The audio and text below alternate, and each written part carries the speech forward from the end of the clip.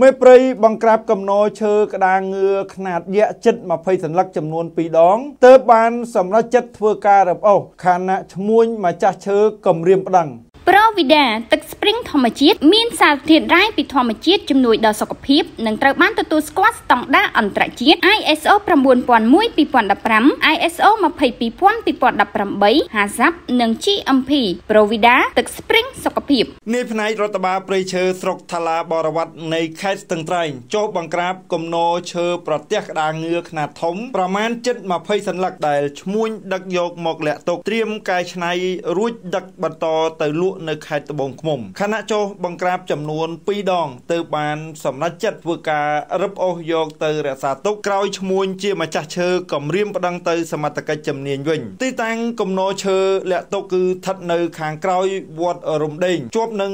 មាត់អូនៅក្នុងភូមិរំដេងឃុំចំការលើស្រុកថ្លាបរវត្តខេត្តស្ទឹងត្រែងតាមប្រភពបានឲ្យដឹងថាម្ចាស់ឈើមានឈ្មោះញជាជនជាតិខ្មែរអ៊ីស្លាម ដែលមានស្រុកកំណើតនៅខេត្តត្បូងឃ្មុំបច្ចុប្បន្ននៅភូមិអូរស័យកណ្ដាលឃុំអូរស័យកណ្ដាលស្រុកសៀមបូកខេត្តស្ទឹងត្រែងក្រោយពីសមត្ថកិច្ចជំនាញចុះបង្ក្រាបលើកទី1នៅថ្ងៃទី15ខែមករាឆ្នាំ2023នេះផ្នែករដ្ឋបាលព្រៃឈើស្រុកថ្លាបរវត្តបានសហការជាមួយមេប៉ុស្តិ៍រដ្ឋបាលឃុំចំការលើ ក្រោយបង្ក្រាបរួចមិនបានដឹកឈើទាំងនោះយកទៅរក្សាទុកនោះទេ គឺនៅកន្លែងដដែលគ្រាន់តែផ្ដាំផ្ញើឲ្យលោកមេប៉ុស្តិ៍ឃុំចំការលើ មើលថែវត្ថុតាងឈើទាំងនោះប្រភពដដែលបានបន្តឲ្យដឹងថាឈើទាំងនោះត្រូវបានឈ្មួញម្ចាស់ឈើជួលជាងឲ្យធ្វើការឈូសសម្អាតកែរួចនិងដឹកយកទៅលក់បន្តនៅខេត្តត្បូងឃ្មុំមិនតែប៉ុណ្ណោះឈ្មួញម្ចាស់ឈើរូបនោះបានគំរាមកំហែងតាមទូរស័ព្ទ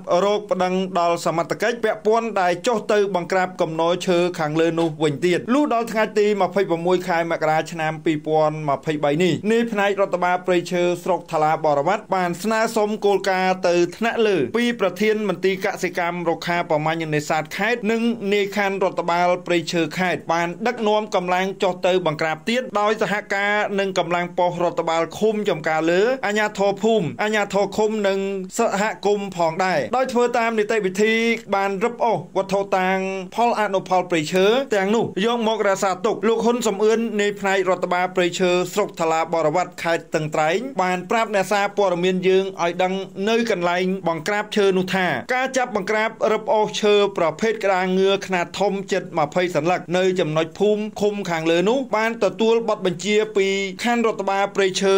ខេត្តនិងប្រធានមន្ទីរកសិកម្មរុក្ខាប្រមាញ់នេសាទខេត្តស្ទឹងត្រែងមានការសហការជាមួយកម្លាំងនគរបាលប៉ុស្តិ៍ឃុំចំការលើ និងអាជ្ញាធរភូមិព្រមទាំងកម្លាំងសហគមន៍ឈើទាលប្រេះផងដែរលោកហ៊ុនសំអឿននាយផ្នែករដ្ឋបាលព្រៃឈើស្រុកថ្លាបរវត្តបានបញ្ជាក់ថាចំណែកឈើក្តារងឿដែលចាប់រឹបអូសយកមករក្សាទុកខាងលើនោះមានចំនួន14សន្លឹកស្មើនឹង